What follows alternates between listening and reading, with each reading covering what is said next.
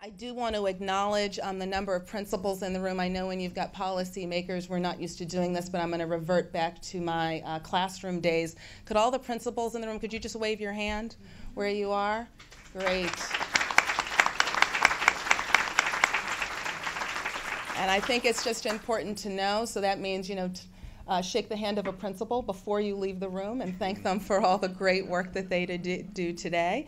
Share with us a bit about one, um, the perspective that, that you had as a district leader in terms of what was most helpful um, and what you saw as being most important in elevating the role of principals, and then based on where you sit now as commissioner um, of New York State, if you could talk to us a little bit about how you are prioritizing based on what we see in this report. Just think about the varied places that principals come from everybody doesn't understand instruction because some of them didn't come from a background of instruction. They may have been teachers, but maybe not in a um, in a very high academic program. But they've been great teachers, and they get put into principals positions, and yet um, they're supposed to walk in and observe a teacher and really not have the kind of background that very often is required for that um, be able to give feedback to teachers to help them to get better and really push the agenda for continuous improvement.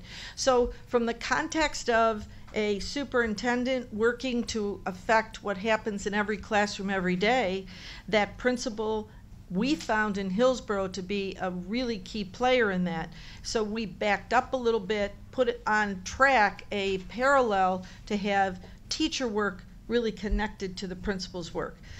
So fast forward, I'm now in New York, and and let me say that um, as Paul indicated, principals have not been on the page.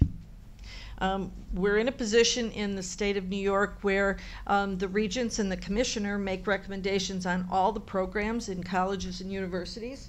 Um, we actually have to approve them.